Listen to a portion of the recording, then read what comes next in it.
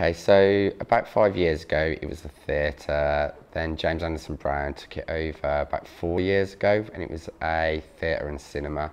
And in the last year, we've been a full-time cinema, just showing films. Um, why did you choose to work at this cinema? So I came up with a concept for um, an Oasis tribute band with the Oasis documentary. I put that on here, worked really well, sold it out three or four times, moved on to doing a few more events here. Then after th those were successful, I became sort of joint programmer with James. And then about five months ago, I became a director, an owner, and kind of haven't looked back since really. Um, what does your cinema offer that differ from mainstream cinemas? So we try and choose our programming around films that aren't getting runs at mainstream cinemas. So we kind of look at what we think is really good and that deserves screen time that the mainstream cinemas, without having to sell 500 seats, probably wouldn't be able to do to, to justify putting it on. So we can take it comfortably in a 100 screen cinema and, and feel like we do the films justice. Um, what films do you have on the offer at the moment? So at the moment we've got Isle of Dogs and Journeyman on and we're also taking on Film Worker which is about Stanley Kubrick's right hand man. Uh, we've also got a really good documentary coming up which is called Studio 54. On what is based the choice of the movies that are streamed in the cinema?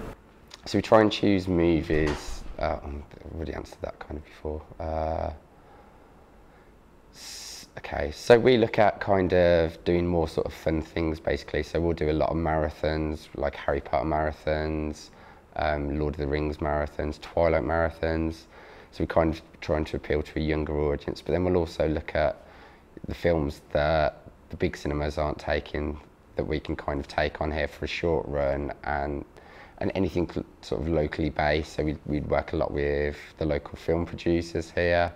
Um, and we put on a lot of film festivals, and it's kind of the big cinemas don't really do anything like that. So we're kind of more community-based cinema. So it's important to have community around cinema. It's really important to have community-based cinema. Flatpack, who run the Flatpack Festival, they did their 13 days here. Um, the programming was really diverse. Um, and then we, we offer the film, uh, the film producers forum here as well.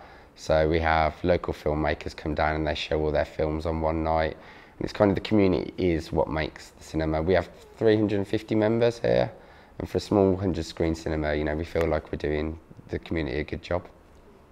Um, and finally, what does the future hold for your cinema? Hopefully, we are going to be getting a second screen soon, which will be at the back of our first screen, which will allow us to take more new releases, but also offers sort of more diverse programming. Um, just keep doing what we're doing, which we think we're doing really well, just offering a, a sort of diverse range of films that the mainstream cinemas won't take. Mm -hmm. Um, one more question. Yeah. Okay, so we can end it yeah. later. Um, are there any threats to independent cinemas, for example, unpopularity or a lack of funding?